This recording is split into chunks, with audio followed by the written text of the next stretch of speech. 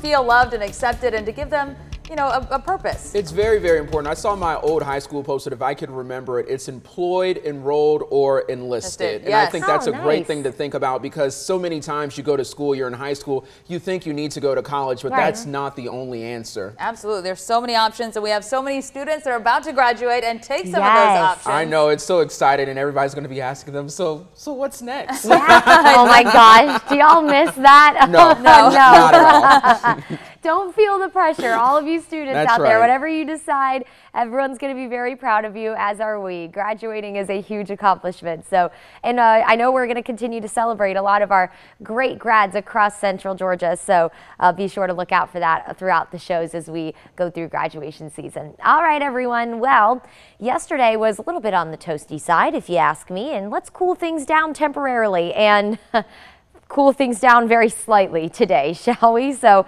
high pressure in control behind our cold front that moved in yesterday and most of you probably didn't even notice it. We had maybe a stray shower or two thanks to that front, a light breeze, but that was really about it. Now, now it is down to our south, bringing rain to parts of South Georgia. But with high pressure in control now, what does that mean? That's going to bring us a lot of sunshine today. So it'll look really nice out there and it will feel nicer. Yesterday we had wind ahead of our front coming out of the southwest. Today wind will be coming out of the north. So that is going to at least pull in some drier air, meaning our humidity is going to be slightly lower. Don't get me wrong, it's not going to feel fall-like out there, but it'll at least be more comfortable than yesterday. 63 right now in the city of Perry, one of the slightly cooler spots this morning. You're of course looking live on top of the Fairgrounds and Agri Center where the countdown to May Days on the Midway definitely on, only a couple of days away, two days in fact. 61 in Byron, 63 in Fort Valley, 67 in Montezuma, 61 up in Forsyth,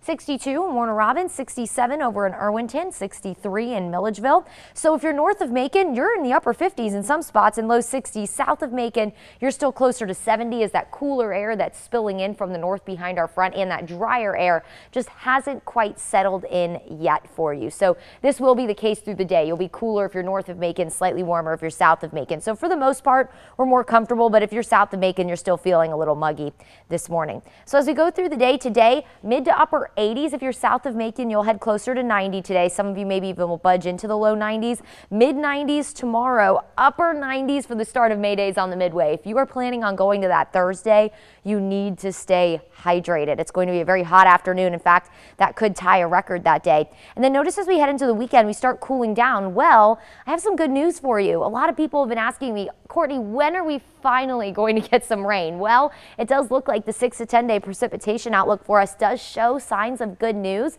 So this goes beyond the seven day. You take from day 6 all the way to day 10 average the rainfall and it does look like we will get some beneficial rainfall and that'll really start Saturday. We'll stay dry through Friday.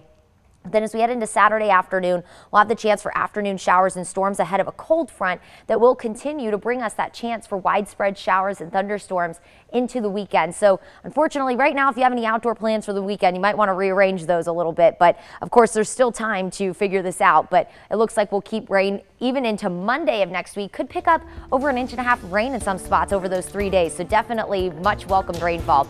In the meantime, warm and dry or hot and dry, but rain does return just in time for the weekend.